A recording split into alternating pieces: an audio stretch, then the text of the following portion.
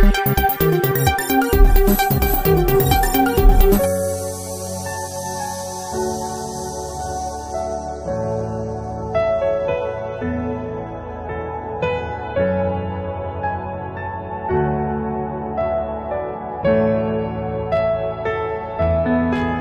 وسلم نے کہا کہ نکاح کو اتنا آسان کرو، نکاح کو اتنا آسان کرو کہ زنا، بدکاری حرام کاری مشکل ہو جائے۔ تو اجتماعی نکاح میں بہت کم خرچ میں نکاح ہو جاتا ہے۔ ہر برادری سے میں گزارش کروں گا کہ وہ اپنی اپنی برادریوں میں اجتماعی نکاح کے ماحول کو اور چلن کو عام کریں اس میں پر جوڑے کو کیا کیا دیا گیا ہے جیسے؟ یہاں پر پر جوڑے کو جو دیا گیا ہے تقریباً جتنی بنیادی ضرورتیں ہیں مثال کے طور پر برتن کا پورا سیٹ بستر کا پورا سیٹ کپاٹ وغیرہ یعنی جتنی بنیادی چیزیں ہیں وہ ساری کی ساری چیزیں الحمدللہ پر جوڑے کو دی گئی ہے برادری کی جانب سے۔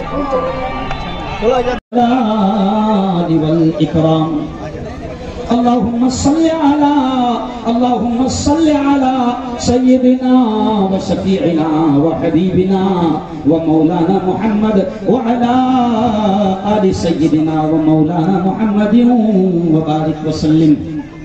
ربنا آتنا في الدنيا حسنة وفي الآخرة حسنة وقنا عذاب النار.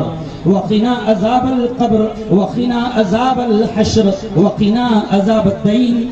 اللهم احفظنا اللهم احفظنا من كل بلاء الدنيا وعذاب القبر وعذاب الآخرة. اللهم من أحييته اللهم من أحييته منا فأحيه على الإسلام ومن توفيته منا فتوفه على الإيمان. مولا ہم سب کے تمام گناہوں کو معاف فرما۔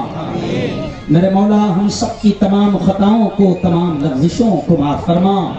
رب دو جہاں رات کے اندھیرے میں، دن کے اجالے میں۔ میرے مولا، رات کے اندھیرے میں، دن کے اجالے میں۔ جانے میں، انجانے میں جو کچھ بھی چھوٹے بڑے گناہ ہوئے ہیں، محض اپنے فضل سے، اپنے کرم سے معاف فرما۔